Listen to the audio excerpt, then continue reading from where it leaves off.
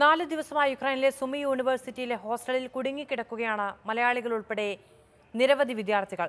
ഭക്ഷണവും വെള്ളവും തീർന്നതിന്റെ ആശങ്കയിലാണ് ഇവർ. ഞങ്ങൾ സുമി സ്റ്റേറ്റ് മെഡിക്കൽ യൂണിവേഴ്സിറ്റിയിലെ നാലാം വർഷ മെഡിക്കൽ വിദ്യാർത്ഥികളാണ്.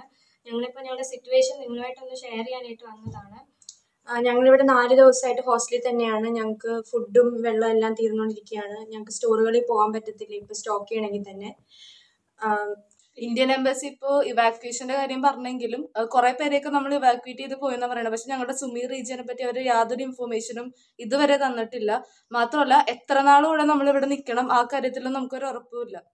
ഇപ്പൊ ഈ ബങ്കേഴ്സിലാണെങ്കിലും ഞങ്ങളുടെയൊക്കെ അവസ്ഥ ഭയങ്കര ബുദ്ധിമുട്ടാണ്. കാരണം ഇപ്പൊ ഗേൾസ് ആയിട്ട് ഞങ്ങൾക്ക് ടോയ്ലറ്റിൽ പോകാനാണെങ്കിലും സൗകര്യമില്ല. പിന്നെ അവിടെ ആണെങ്കിൽ കുറെ ഹെൽത്ത് ഇഷ്യൂസ് ഒക്കെ ഉണ്ട്.